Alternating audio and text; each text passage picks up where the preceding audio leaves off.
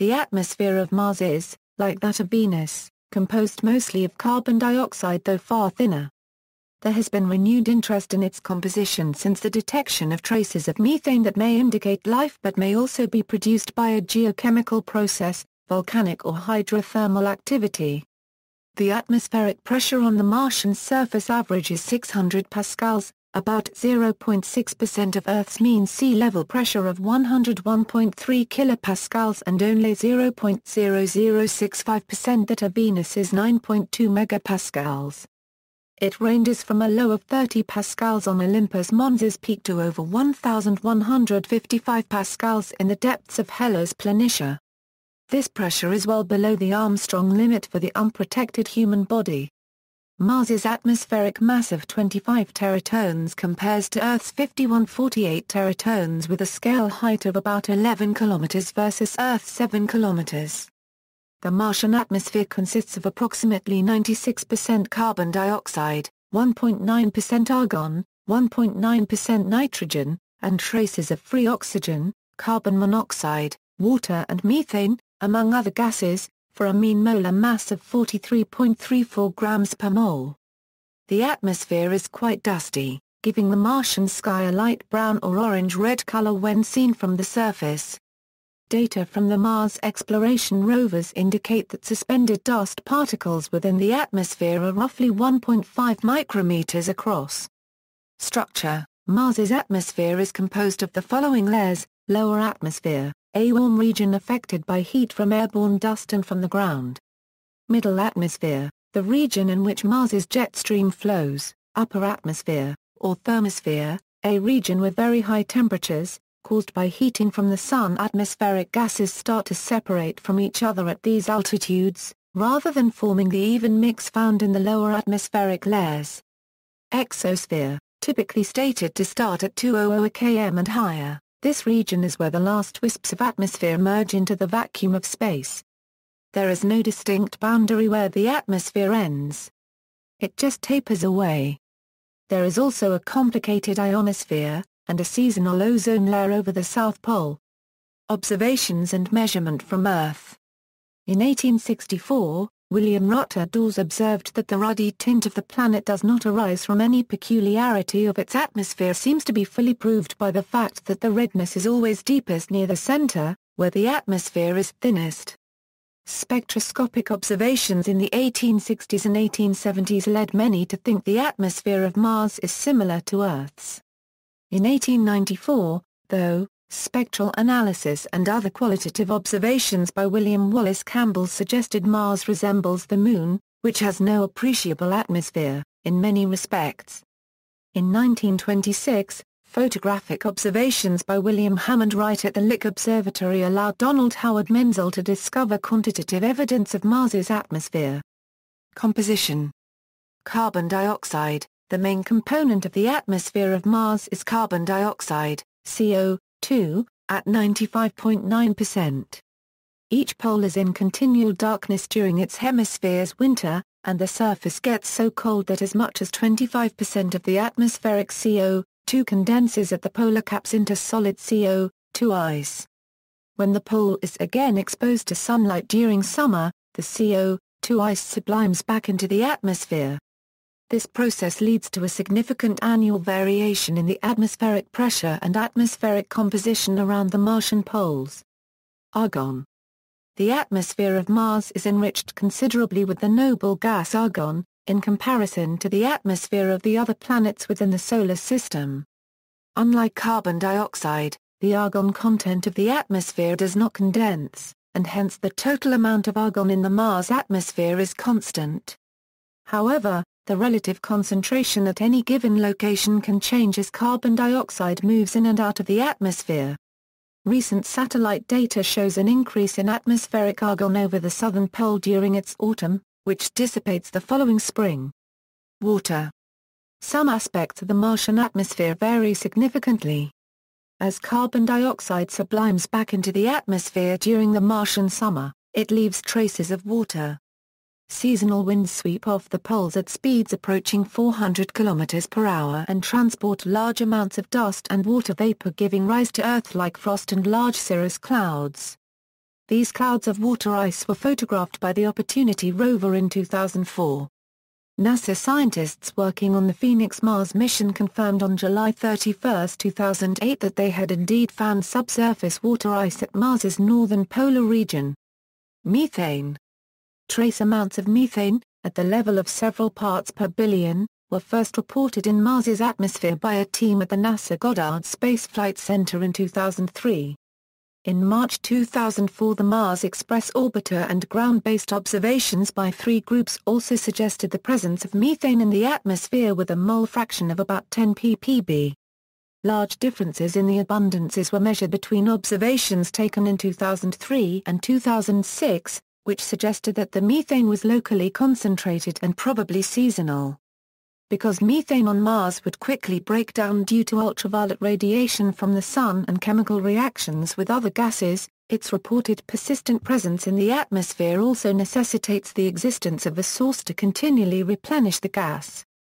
Current photochemical models alone cannot explain the rapid variability of the methane levels. It had been proposed that the methane might be replenished by meteorites entering the atmosphere of Mars but researchers from Imperial College London found that the volumes of methane released this way are too low to sustain the measured levels of the gas. Research suggests that the implied methane destruction lifetime is as long as 4 Earth years and as short as 0.6 Earth years. This lifetime is short enough for the atmospheric circulation to yield the observed uneven distribution of methane across the planet. In either case, the destruction lifetime for methane is much shorter than the timescale estimated for photochemical destruction. The rapid destruction of methane suggests that another process must dominate removal of atmospheric methane on Mars, and it must be more efficient than destruction by light by a factor of 100 to 600. This unexplained fast destruction rate also suggests a very active replenishing source. A possibility is that the methane is not consumed at all but rather condenses and evaporates seasonally from clathrates. Another possibility is the methane reacts with tumbling surface sand quartz, CO2, and olivine to form covalent CR-CH, 3 bonds. Scientist Michael Mumma also argued in 2009 that the evidence suggests the methane plumes are a seasonal event. Although the methane could stem from a geological source, the lack of current volcanism, hydrothermal activity or hotspots are not favorable for a geological explanation. Living microorganisms, such as methanogens, are another possible source, but no evidence exists for the presence of such organisms anywhere on Mars. Roscosmos and ESA are planning to look for companion gases that may suggest which sources are most likely. In the Earth's oceans, biological methane production tends to be accompanied by ethane, whereas volcanic methane is accompanied by sulfur dioxide. Several studies of trace gases in the Martian atmosphere have found no evidence for sulfur dioxide in the Martian atmosphere, which makes volcanism unlikely to be the source of methane. The principal candidates for the origin of Mars methane include non-biological processes such as water-euro-rock reactions, radiolysis of water, and pyrite formation, all of which produce H2 that could then generate methane and other hydrocarbons via Fischer-Euro-Tropsch synthesis with CO and CO2. It was also recently shown that methane could be produced by a process involving water, carbon dioxide, and the mineral olivine, which is known to be common on Mars. The required conditions for this reaction do not exist on the surface, but may exist within the crust. A detection of the mineral byproduct serpentinite would suggest that this process is occurring. An analog on Earth suggests that low-temperature production and exhalation of methane from serpentinized rocks may be possible on Mars. Another possible geophysical source could be clathrate hydrates. In contrast to the findings described above, studies by Kevin Zahn, a planetary scientist at NASA's Ames Research Center, and two colleagues conclude that there is as yet no compelling evidence for methane on Mars. They argue that the strongest reported observations of the gas to date have been taken at frequencies where interference from methane in Earth's atmosphere is particularly difficult to remove, and are thus unreliable. Additionally, they claim that the published observations most favorable to interpretation as indicative of Martian methane are also consistent with no methane being present on Mars. In 2011, NASA scientists reported a comprehensive search using ground-based high-resolution infrared spectroscopy for trace species on Mars, deriving sensitive upper limits for methane, ethane, methanol and others. The data were acquired over a period of six years and span different seasons and locations on Mars, suggesting that if organics are being released into the atmosphere, these events were extremely rare or currently non-existent, considering the expected long lifetimes for some of these species. The Curiosity rover landed on Mars in August 2012. It is able to make precise abundance measurements that also distinguish between different isotopologues of methane. The first measurements with the tunable laser spectrometer indicate that there is less than 5 ppb of methane at the landing site. Efforts to identify the sources of terrestrial methane have found that measurements of different methane isotopologues do not necessarily distinguish between possible geologic and biogenic sources, but the abundances of other co-generated gases, such as ethane, relative to methane do, the ethane-Euro-methane abundance ratio is less than 0.001 for biogenic sources, whereas other sources produce nearly equivalent amounts of methane and ethane.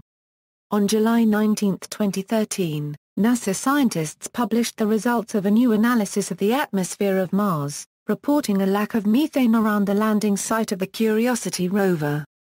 In addition, the scientists found evidence that Mars has lost a good deal of its atmosphere over time, based on the abundance of isotopic compositions of gases, particularly those related to argon and carbon.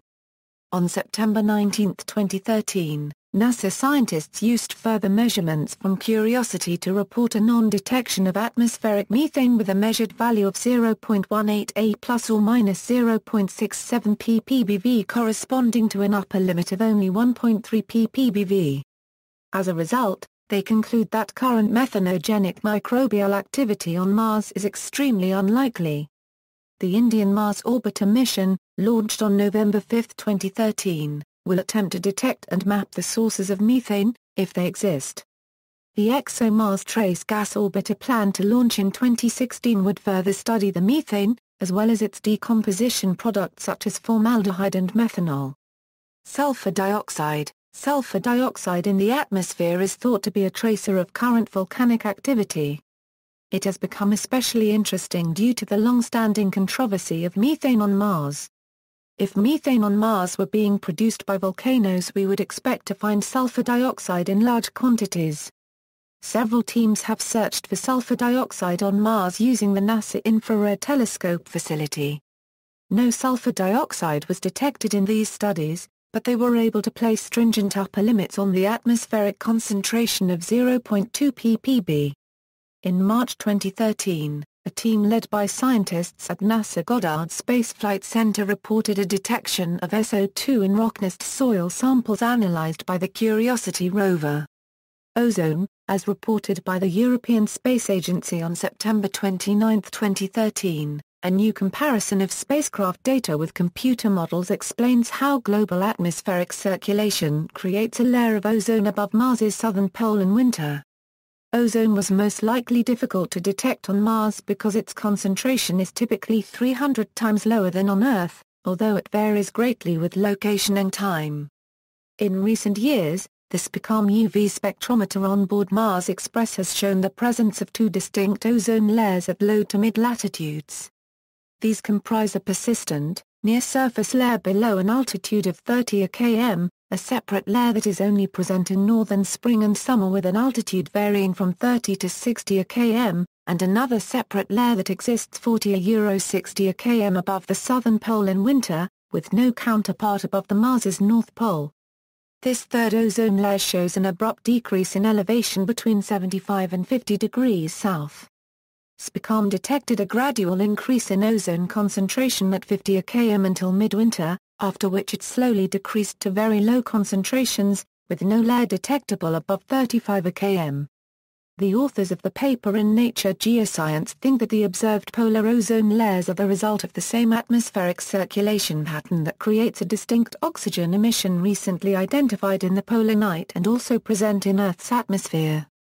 This circulation takes the form of a huge Hadley cell in which warmer air rises and travels polluted before cooling and sinking at higher latitudes. Mars is on a quite elliptical orbit and has a large axial tilt, which causes extreme seasonal variations in temperature amongst the northern and southern hemispheres. Mars's temperature difference greatly influences the amount of water vapor in the atmosphere, because warmer air can contain more moisture. This, in turn, affects the production of ozone-destroying hydrogen radicals. Potential for use by humans The atmosphere of Mars is a resource of known composition available at any landing site on Mars. It has been proposed that human exploration of Mars could use carbon dioxide from the Martian atmosphere to make rocket fuel for the return mission. Mission studies that propose using the atmosphere in this way include the Mars Direct proposal of Robert Zubrin and the NASA Design Reference Mission Study. Two major chemical pathways for use of the carbon dioxide are the Sabatier reaction, converting atmospheric carbon dioxide along with additional hydrogen, to produce methane and oxygen and electrolysis, using a zirconia solid oxide electrolyte to split the carbon dioxide into oxygen and carbon monoxide. History Mars's atmosphere is thought to have changed over the course of the planet's lifetime, with evidence suggesting the possibility that Mars had large oceans a few billion years ago. As stated in the Mars ocean hypothesis, atmospheric pressure on the present-day Martian surface only exceeds that of the triple point of water, in the lowest elevations. At higher elevations water can exist only in solid or vapor form. Annual mean temperatures at the surface are currently less than 210 K, significantly lower than that needed to sustain liquid water. However, early in its history Mars may have had conditions more conducive to retaining liquid water at the surface. In 2013, Scientists published that Mars might have had an oxygen-rich atmosphere billions of years ago. Possible causes for the depletion of a previously thicker Martian atmosphere include, gradual erosion of the atmosphere by solar wind, possibly helped by Mars's magnetic field irregularities. Catastrophic collision by a body large enough to blow away a significant percentage of the atmosphere. Mars's low gravity allowing the atmosphere to blow off into space by Jeans escape. Images. See also Climate of Mars, Life on Mars, Mars Regional Atmospheric Modeling System, Martian Geyser, MAVEN Orbiter, MetNet, a proposed widespread surface observation network in Mars. Seasonal flows on warm Martian slopes, in situ resource utilization, terraforming of Mars. References. Further reading, Mars clouds higher than any on Earth. Space.com Michalski, Lauren. Pressure on the surface of Mars. A physics factbook Atmospheric Pressure, Summary of the Viking Lander Results A, Kahn, Michael. The Lowdown on Methane on Mars. Archived from the original on December 7, 2009. Retrieved December 8, 2009 A, seasonal ozone layer over the Martian South Pole Publisher equals ESA. September 29, 2013. Retrieved December 17, 2013 A, External links, media related to Atmosphere of Mars at Wikimedia Commons.